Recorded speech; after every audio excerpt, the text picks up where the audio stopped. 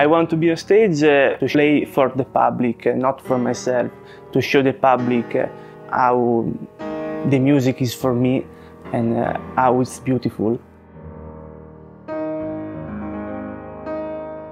Highlights in my piano career were, for example, when I play in Teatro La Fenice in Venezia, Teatro Verdi in Trieste, Fazioli Concert Hall in Sicilia.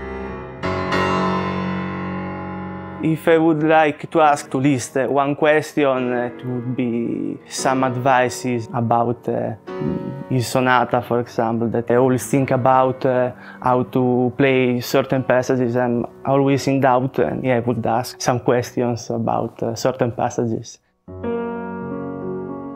My mother always told me not to practice too much and uh, go out with friends.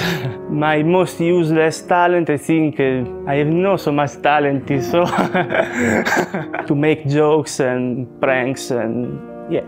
My guilty pleasure is to take one famous piece by a composer and uh, change it completely and improvising on it, make another piece from it. If I could not be a musician, uh, probably an artist, a painter or a writer. Who knows?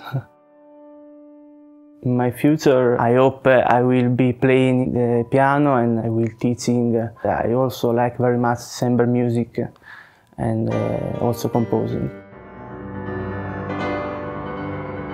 Liszt Beethoven, both. I think both.